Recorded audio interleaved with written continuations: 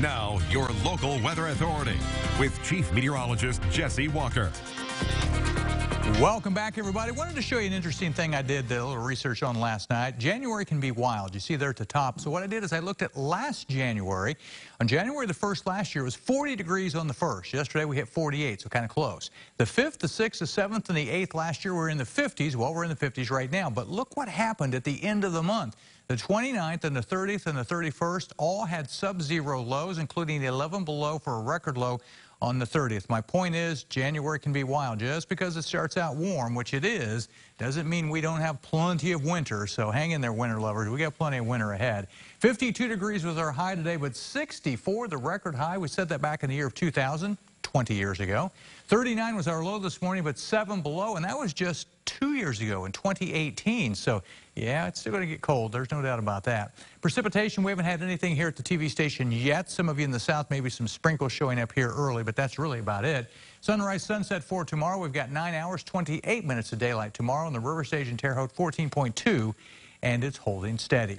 Right now at the airport in Terre Haute, 48, winds are south at about 10. Pressure dropping 2970 as low pressure develops south of here and moves in. Temperatures, are mild, 40s to near 50. Got a 50 over there in Effingham. So again, the second day of the month already looking at really mild weather. Storm to the south, pulling moisture up into the area. And for us, we've seen that in the form of the cloud cover initially, and now some light showers trying to move into the south. Bigger storms, are developing. See this line here?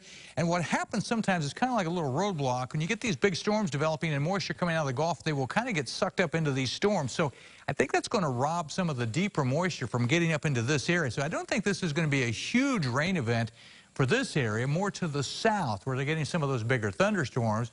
You can see on the satellite and the radar around here, the clouds have moved in, and way down south, you see a little bit of rain showing up there. So on the Dorsey Automotive Doppler radar, really light, but our southern tier of counties starting to at least show maybe some sprinkles out of this. Everybody else dry so far. But those rain showers in the south, I think, will expand northward some as we get into the overnight. And we'll stop this for you, say, around 1, 2 o'clock in the morning. North of I-70 even, looks like some scattered showers. It doesn't look like anything big. And I think we'll get a break for a while. Notice this, by tomorrow, probably get a break for a while. And then tomorrow night and early Saturday, some colder air comes in. We may see this transition right in there to a little bit of some snow. This is early Saturday morning. I don't think it's big. I think it's mostly in the first part of the day Saturday.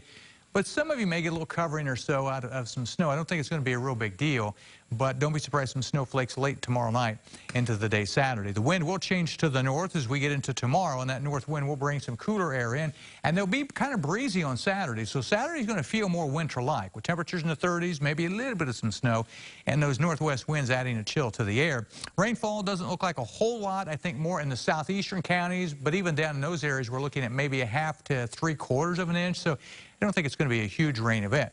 Longer term, watch what happens. Real dry Sunday, Monday. Then late Monday into Tuesday, there's a weak system right there with a little bit of a rain-snow mix. That should kick out of here.